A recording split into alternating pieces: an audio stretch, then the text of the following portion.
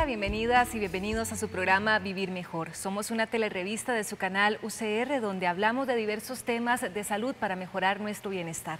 Hoy les acompañamos María del Mar Izaguirre Cedeño y... Saúl Aguilar, hola a todos y todas, muchísimas gracias por acompañarnos el día de hoy, acá desde la Organización de Estudios Tropicales en la Universidad de Costa Rica para compartir media hora de información valiosa que ojalá sea de mucho, de mucho provecho para usted y para sus familias. Hoy vamos a hablar, Saúl, de un tema que se las trae, porque es de las plantas medicinales. Normalmente siempre muchas personas hemos utilizado estas plantas y se ha usado también desde la antigüedad, pero hay que tener en cuenta ciertas precauciones y conocer más de estas plantas que nos pueden ayudar mucho a mejorar nuestra salud. Sí, efectivamente, María del Mar, porque bueno, las plantas medicinales pueden ser de, de ayuda en algunos o muchos casos, ¿verdad? Pero no se pueden usar tampoco por la libre, ¿verdad? Sabemos que la ciencia avanza, sabemos que hay cada vez más información valiosa en la cual pues hay que dosificar también este tipo de, eh, pues, de terapia, ¿verdad? Claro. Y para hablar de este tema entonces contamos con la presencia de Mildred García González. Ella es profesora catedrática del Departamento de Fisiología de la Escuela de Medicina de la Universidad de Costa Rica. Y le agradecemos, Mildred, la gentileza por acompañarnos. Muchísimas gracias a ustedes por haberme invitado. Mildred, tal vez para comenzar sería importante que usted nos pueda conceptualizar qué podríamos entender como una planta medicinal, ¿verdad? ¿O qué son estos, ¿Qué son los medicamentos naturales? Sí, bueno, aquí estamos hablando de dos cosas. En realidad, eh, si uno quiere utilizar un lenguaje correcto, no se habla de la planta medicinal, porque no es toda la planta, cuando yo voy a utilizar el jengibre, me estoy refiriendo exclusivamente a la raíz del jengibre, no a las hojas. Entonces lo correcto es hablar de la droga vegetal, que la droga es, se define como la parte de la planta que se utiliza en terapéutica para aliviar eh, algún dolor o alguna enfermedad. Ahora bien, Mildred, cuando hablamos de este medicamento herbario o esta droga que usted nos menciona, ¿verdad? ¿Se diferencia de este producto natural o tiene cierta eh, similitud? Sí, no. Vamos a ver, cuando se habla de fitoterapia yo puedo hablar de tres cosas diferentes. O sea, una es la droga vegetal, que es la parte de la planta fresca que contiene el principio activo que se utiliza. Por ejemplo, eh, la manzanilla, eh, donde están más concentrados estos principios activos, la gente sabe que son los capítulos florales. Pero la manzanilla tiene la gran virtud de que todas las partes de la planta, en este caso específico, tienen principios activos en mayor o menor concentración. Eso sería, digamos, lo que es la droga vegetal. Luego está el producto natural, que es cualquier parte de, o cualquier forma de presentación farmacéutica. Entonces yo te, puedo tener un producto natural por destilación, por desecación, eh, cogiendo la, eh, droga vegetal, eh, haciendo una extracción de esos principios activos. Entonces que ya se presentan en forma de un producto farmacéutico. que yo lo estoy vendiendo en las farmacias.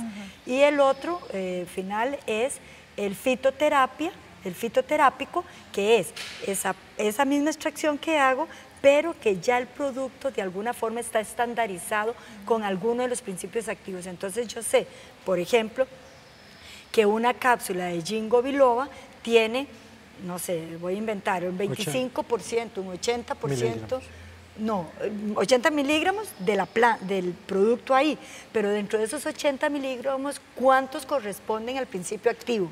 O sea, se estandariza. Entonces yo sé que esa cápsula tiene, por ejemplo, el no sé, 12 miligramos de gingóbilos, ¿verdad? Entonces, esto es lo que a mí me permite dosificarle a la gente, porque el anterior y la droga vegetal, digamos lo que se vende aquí en Costa Rica, la mayoría de lo, de lo que se produce en Costa Rica, por ejemplo, las tisanas. Las tisanas que venden, que son muy buenas, o sea, y funcionan una tisana, yo cojo la bolsita, la pongo en agua, pero no sé cuántos principios activos tiene y me, y me funciona pero puede ser que un día me tome una taza, una bolsita y otro día dos bolsitas y eh, yo sé que tengo más o menos, pero no sé cuánto. ¿Y todas las plantas son medicinales? No, no, jamás. No, no, no, no. No todas las, las drogas vegetales de las plantas, eh, digamos, funcionan como terapia. Hay drogas o hay plantas, hablemos de plantas, que son totalmente tóxicas, ¿verdad? Y hay otras que sí funcionan y hay, otras que no funcionan para lo que la gente le va creando, porque aquí sí es importante. Y eso sí me, me, interesa mucho que la gente sepa lo que es la diferencia entre el uso tradicional y el uso popular. Son cosas totalmente diferentes. El uso tradicional, la OMS, la Organización Mundial de la Salud, lo tiene definido como el uso que a través de 30 años mínimo se utiliza igual. ¿Qué es que se utiliza igual? Que tiene que cumplir cinco cosas juntas. Primero, que sea la misma planta, es el nombre científico, ¿verdad? Que se identifica la planta, porque el nombre popular cambia de un lugar a otro.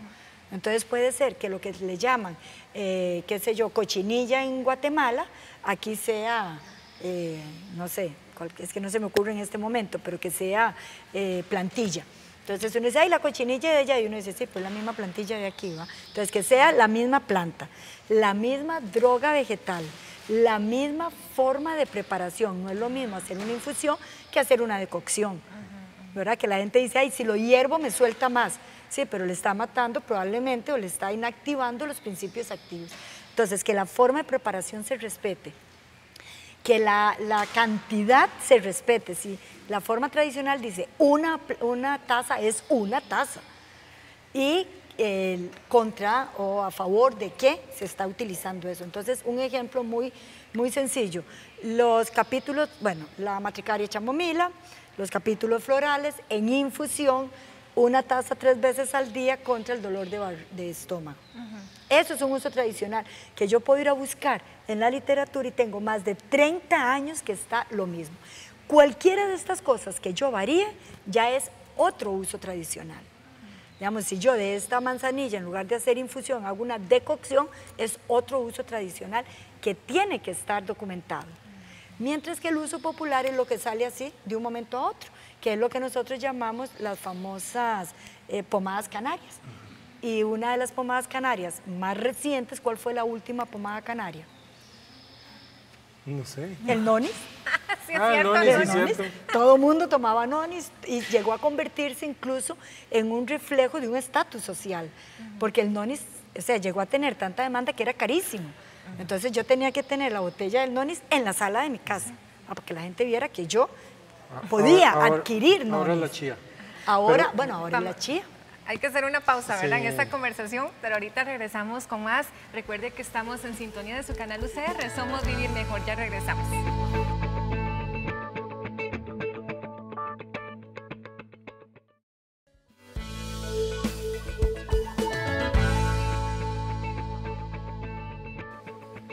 Muchísimas gracias por continuar con nosotros en su telerevista Vivir Mejor. El día de hoy acá, desde la Organización de Estudios Tropicales, compartiéndoles el tema de los beneficios de las plantas medicinales. Y compañeras, bueno, conversábamos en el bloque anterior eh, acerca de los aspectos más generales, ¿verdad? Eh, la doctora Mildred García es profesora acá de la Escuela de eh, perdón, del Departamento de Fisiología de la Escuela de Medicina.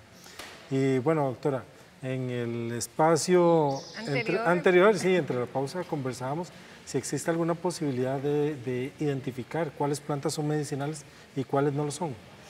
No, o sea, nosotros eh, ahora no, es difícil, digamos, saber si una planta es o no es medicinal. Lo que se hace es que se toma la información que ya existe, ¿verdad? De plantas que se han estudiado. Eh, aquí también hay un doble, ¿verdad? Eh, una doble visión del uso. Uno es lo que se llama la validación de las plantas medicinales y otro es la búsqueda de los principios activos.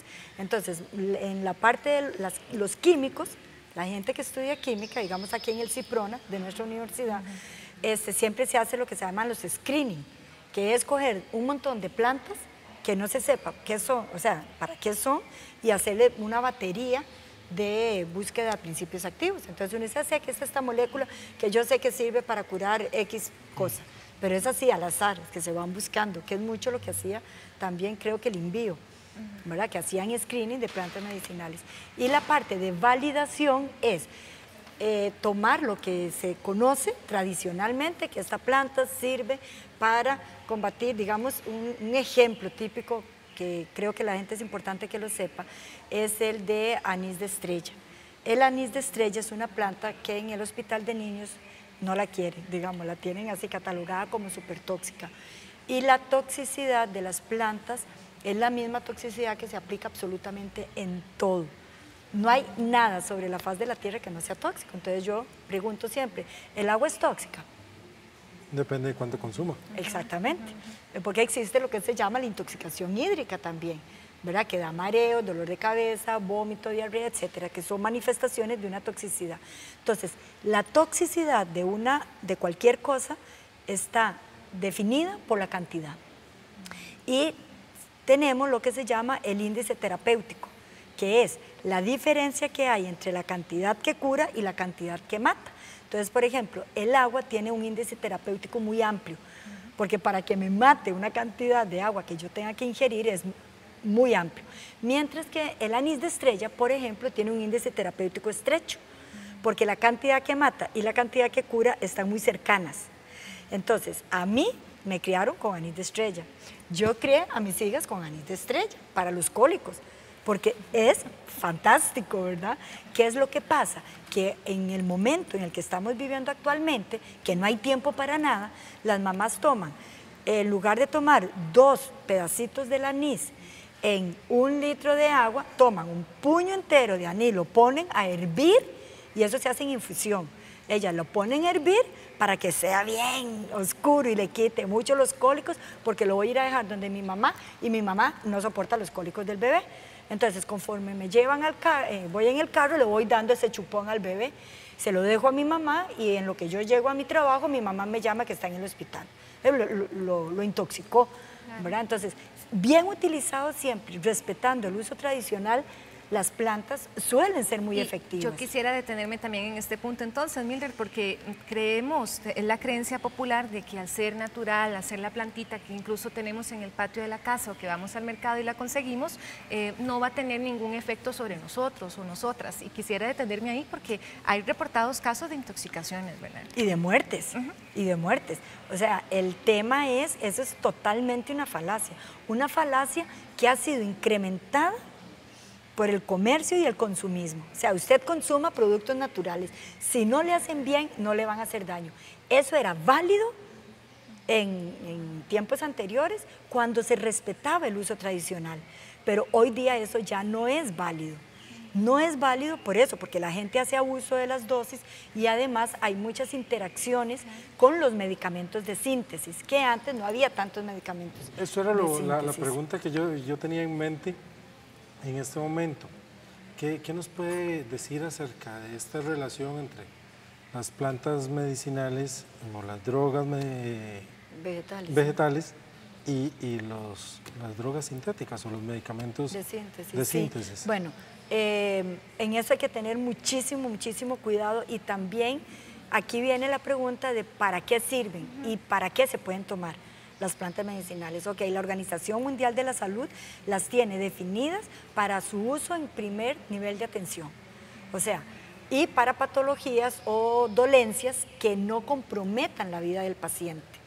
Entonces, por ejemplo, eh, para un dolor de estómago, para algo en la piel que yo me pueda poner, para que me duele la cabeza, para el vómito, para diarrea, o sea, para cosas que si no funcionan, yo puedo, me va a dar chance de ir al hospital, ¿verdad? Algo menor, digamos. Exacto, para lo que se llaman males menores. Aunque estrictamente hablando, en medicina no existen los males menores. Lo que yo he visto es que acompañado de la, de la prescripción médica, las personas se encargan de hacer la prescripción de, medicina natural. Entonces, tómate esto, pero además te lo haces con un tecito y de Y apuestan más por lo natural, perdón, dejando ¿verdad? Saúl, tal vez usted lo ha visto en consulta, dejando de lado tal vez esta prescripción médica, le apuestan más por esta tradición oral o esta que la vecina le funcionó, a usted le va a servir, ¿verdad? A, mí, a mí me preocupa la combinación, pero bueno, ya es hora de hacer una segunda pausa y sí me gustaría retomar el tema cuando regresemos. Entonces, por favor, quédense con nosotros y pronto regresamos. Hola, ¿qué tal? A propósito del uso de plantas medicinales, Tramil, un programa de investigación en medicina popular tradicional de países caribeños, elaboró un manual de uso de plantas medicinales para la atención primaria, del cual compartiremos algunas recomendaciones. Es importante que identifique la planta y la parte a utilizar en cada preparación o receta.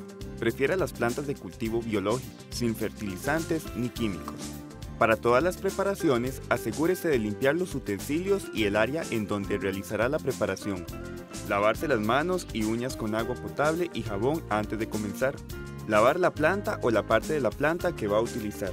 Y no comer ni fumar durante la preparación. Prepare el tratamiento cada vez que lo necesite. No lo conserve, pero si lo hace, refrigérelo por no más de un día. No emplee las preparaciones con otros productos naturales o medicamentos sin consultar al médico primero. Cuando las recetas sean para usar sobre la piel, limpie con agua hervida y jabón el área afectada y seque antes de aplicar el remedio. Cuando utilice plantas secas, recuerde que debe cortarlas en la época correcta, lavarlas con agua potable, secarlas a la sombra y en un lugar limpio y bien ventilado. No debe secarlas al sol porque se pueden perder o modificar sus propiedades. En general, para lograr los resultados seguros y eficaces al consumir plantas medicinales o elaborar preparaciones con ellas, hay que seguir estrictamente las indicaciones, las cantidades, el tiempo y las recomendaciones y advertencias. Sigamos con más de Vivir Mejor.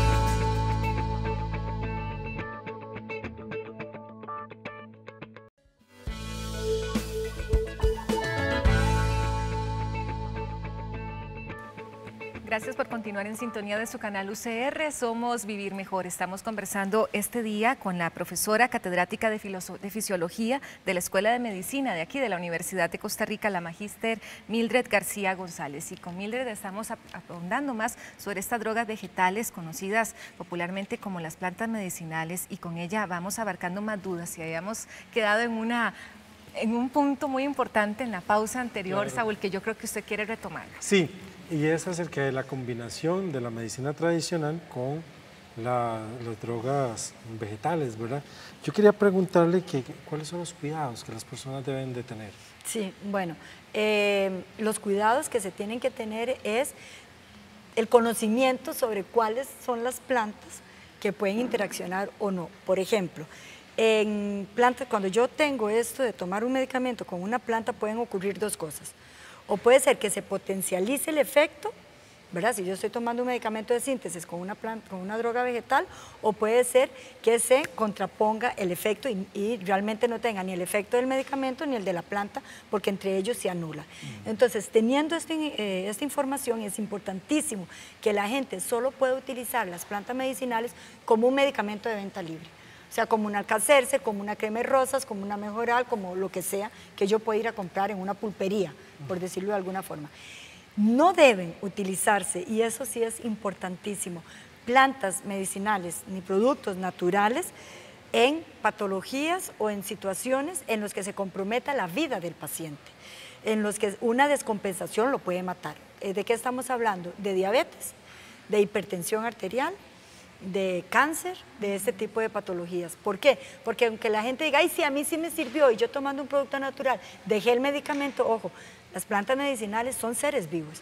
Y como seres vivos, sus principios activos varían con la época del año, no, no es una planta de plástico y no es una cápsula que yo compre, que yo sé que ahí pusieron 75 miligramos de, un principio activo. O sea, varían si yo estoy tomando una planta medicinal que me traen de Punta Arenas o una que me traen de San Isidro el General, la cantidad de principios activos es totalmente diferente.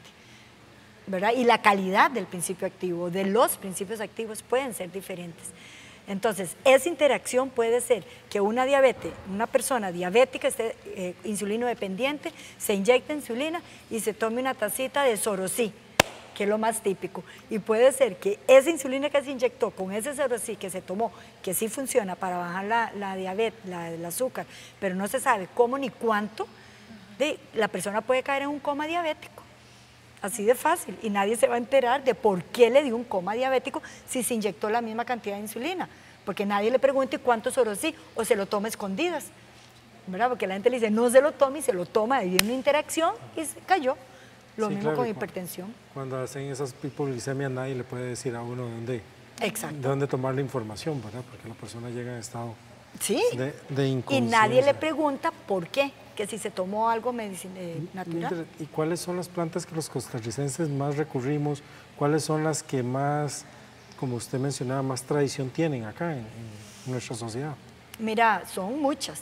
O sea, del- o sea tradicionalmente, este, las que casi todos consumimos, que es el naranjo agrio, para, que es para los nervios, la manzanilla para todo lo que es gastro, eh, porque es este, relajante de la musculatura lisa. Por ejemplo, hablando de interacciones, y perdón que meta aquí, pero también es muy importante, creo yo, y es el tema de las embarazadas. Sí. Por favor, que ninguna embarazada tome nada natural, porque creen que porque es natural no le va a hacer efecto o no va a dañar al- a su bebé, y puede dañarlo, o puede dañarlo o puede causarle eh, un aborto espontáneo, porque hay muchas plantas, por ejemplo, el agua de coco o el coco, sobre todo lo que es comer coco, eh, el aguacate, eh, la manzanilla, en los primeros tres meses esas tres plantas, básicamente hay otras, pero que me acuerdo en este momento, son oxitóxicas, o sea, aumentan las contracciones del útero. Entonces pueden causar abortos espontáneos y como el aborto espontáneo existe, entonces de ahí sí es un aborto espontáneo, ¿verdad? Y no lo relacionan con eso que estaba comiendo o tomando. La juanilama para el dolor de estómago ah, tiene bastantes estudios. Este, ¿Cuál otro? O sea, hay muchísimos. El romero, los test de romero, o sea, hay muchas. Lo que hay que tener cuidado es en la cantidad. Que la gente no se exceda pensando que por ser natural, si no lo cura, le va a hacer daño. Sí le va a hacer daño. Con los niños pequeños también hay que tener mucho, mucho cuidado. Porque si nosotros estamos hablando aquí de drogas vegetales, porque estamos hablando de principios activos. Entonces, igual que se maneja la medicina de síntesis, tiene que manejarse los productos naturales. Y yo creo que tal vez eh, me gustaría retomar eso que usted mencionaba, Mildred, son seres vivos. La mayoría de las personas como que no eh, atamos este, esa situación que se da, ¿verdad? Claro. que hay que tener cuidado y que como usted daba este ejemplo, no es lo mismo una planta sembrada en X lugar que en, en otro sitio. ¿verdad? Exactamente. Ahora la gente siempre pregunta, bueno, ¿y por qué antes no pasaba nada de esto? Porque antes la gente vivía en una casa que tenía un jardín y en su jardín cultivaba las plantas. Entonces conocía el efecto de sus plantas. ¿verdad? No es como ahora que con el libre mercado y con todo lo que es la globalización vienen plantas de, de otros países ya en forma de productos naturales y como allá sirvió, aquí también va a servir. No necesariamente. Y conocer cuál es la planta que se está utilizando. Y el ejemplo más típico de esto es la uña de gato.